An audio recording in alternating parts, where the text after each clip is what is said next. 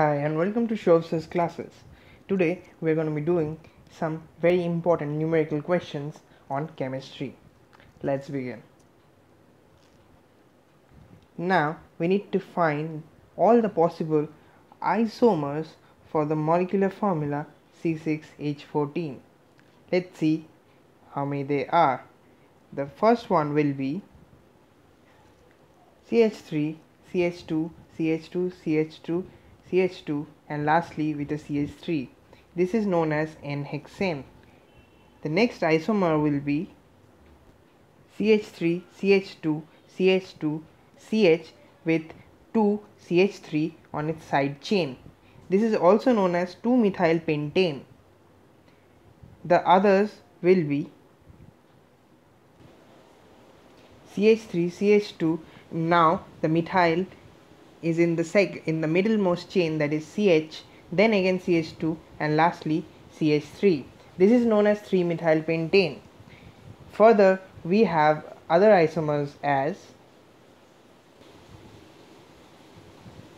this compound is known as 2,2 dimethyl butane. Notice that this carbon out here forms an isomer by taking two methyl groups in its side chain now let's see whether we can have any more isomers or not. CH, CH, let's put one methyl group out here, CH3, CH3. Therefore, this compound is known as 2,3 dimethyl butane.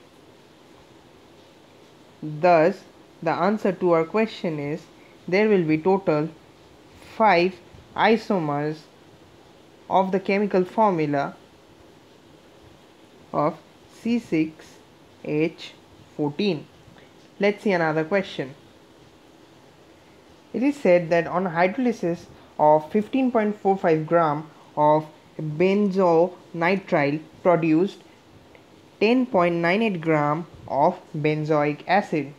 Therefore, we need to find the percentage yield of the acid form. Since molar mass of C6H5Cn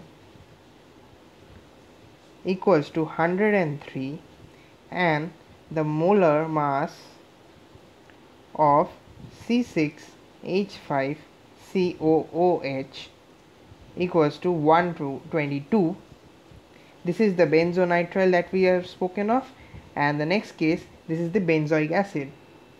Therefore, according to the question 15.45 grams of C6H5Cn equals to 122 into 15.45 by 103. This is because since 103 grams of C6H5Cn gives 122 grams of benzoic acid that is C6H5COOH which equals 18.3 grams of benzoic acid. Thus, the actual yield is equals to 10.98 grams. Therefore, we need to find the percentage yield that can be found as 10.98 which is the actual yield into 100 for percentage by 18.30 that is the supposed percentage of yield. This gives us 60%. Thus, upon giving C6H5Cn, there is a 60% conversion rate. In the next question, we are given acetic acid contained in commercial vinegar. It was analyzed by titrating against 1.5 molar NaOH solution. Then a 20 ml vinegar sample was taken which required 18 milliliters of titrant to give the end point.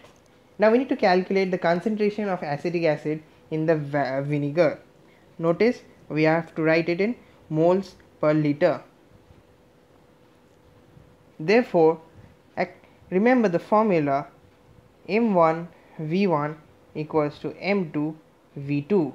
Now putting in the values from the question, we find 1.5 into 18 equals to M2 into 20. Thus, M2 equals to 1.5 into 18 by 20 giving us 13.5 molars of M2. Thus M2 equals to 1.35 mole li per liter. Now we need to find the number of pH bonds in the hypophosphorous acid. The formula of hypophosphorous acid is H3PO2.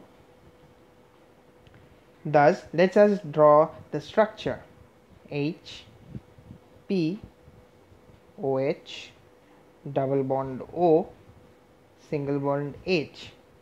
Thus, it has two pH bonds. Thus, the answer out here will be 2. Now we have a diffraction experiment. In this experiment with X-rays of wavelength 1.54 angstrom, a difference, a diffraction line, sorry, corresponds to 2 theta which equals to 20.8 degree is observed. Now we need to find the interplanar separation in angstrom. Now we'll be using Bragg's law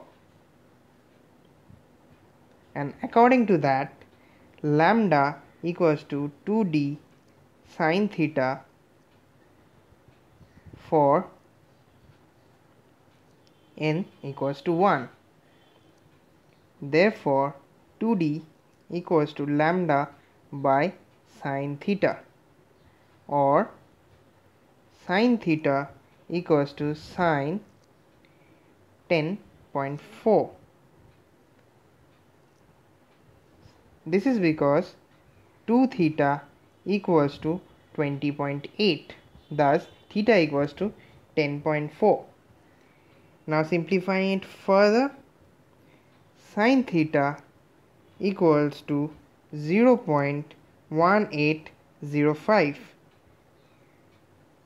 this we have calculated using a calculator now 2 sine theta equals to 2 sine 10.4 which equals to 2 into 0.1805 that is 0.361. Now we'll calculate D. Therefore, D equals to 1.54 by 0.361 which equals to 4.265 angstrom and you need to give the reasoning since d is equals to lambda by 2 sine theta which you can prove using the Bragg's law. In the next question we are given enthalpy of formation of CH4 in, in gaseous form, carbon in gaseous form and hydrogen also in gaseous form are minus 75 717 and 218 kilojoules per mole respectively. Now we need to calculate the enthalpy of the CH bond in kilojoules per mole. Let us first write the reaction. Carbon in solid form plus 2 H2 in gaseous form gives us CH4 gaseous. Therefore, HR equals to summation H F degree P minus summation H F degree R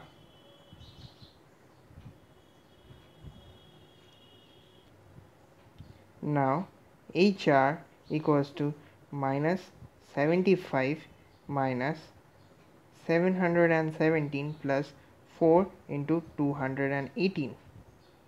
This equals to minus 75 minus 717 plus 872. This equals minus 1664 kilojoules per mole. Now, also we see that HR is equals to HF degrees which equals to 4 summation BE carbon hydrogen bond. Therefore bond energy BE of carbon hydrogen bond equals to minus 1664 by 4 which equals to minus 416 kilojoules per mole. This comes to an end of one of our videos. Like, subscribe and stay tuned for more such amazing and much harder questions on such topics.